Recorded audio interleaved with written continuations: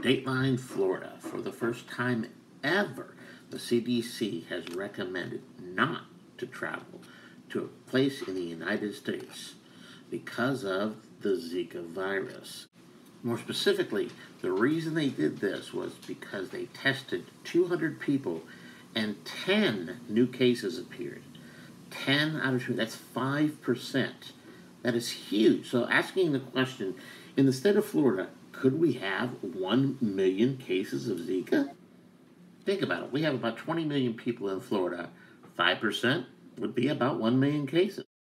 So, in my next video, I'm going to give you a uh, tutorial on different things you can do to help not become a statistic. Well, I hope you found that helpful.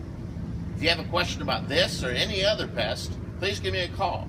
Our number, 727-462-0400. Once again, I'm Coby, president of Coby's Tentless Termite and Pest Control. For as long as God keeps making them, we'll keep killing them. I hope you enjoyed this video, and you have a great day.